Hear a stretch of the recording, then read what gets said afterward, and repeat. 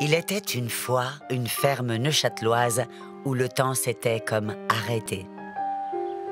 Malgré ses plus de deux siècles d'âge, malgré la succession des générations qui y ont habité, la ferme se retrouve être le précieux témoin d'un patrimoine révolu.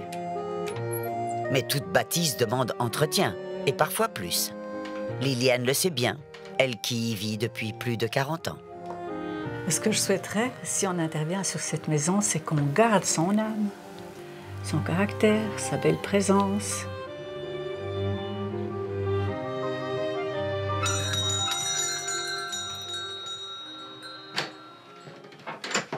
Monsieur, bonjour. Bonjour, madame. Bienvenue.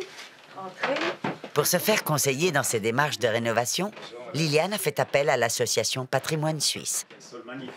Des personnes aguerries, toujours prêtes à s'émerveiller. Oh, c'est pas seulement une pierre comme ça, mais on sent qu'elle a été, euh, qu'elle a été utilisée.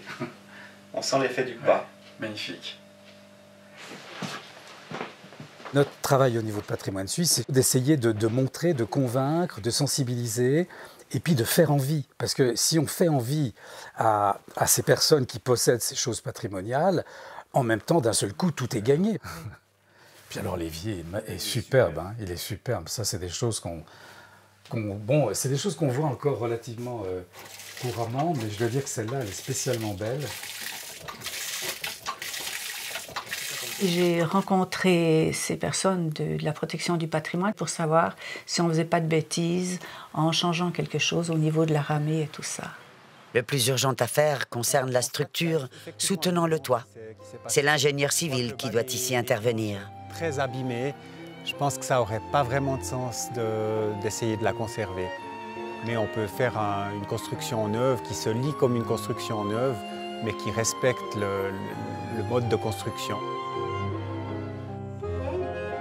Pendant plus de 40 ans, la belle bâtisse a été choyée par ses propriétaires Liliane et Marcel.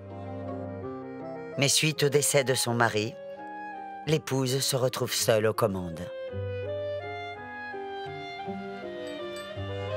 Alors il faut continuer. Ces vieilles pierres méritent bien l'attention qu'on leur donne, n'est-ce pas?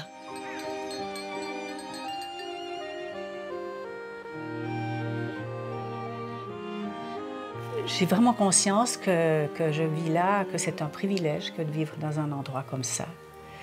Euh, J'en suis reconnaissante tous les jours à l'univers. Et ce qui m'attache, c'est que plus les années avancent, plus le vécu est important. Plus le vécu s'affirme, plus les valeurs trouvées dans cette maison s'affirment pour moi. Il faudra beaucoup d'amour et d'expertise pour que la maison soit la dernière à rester debout, sans jamais perdre son âme.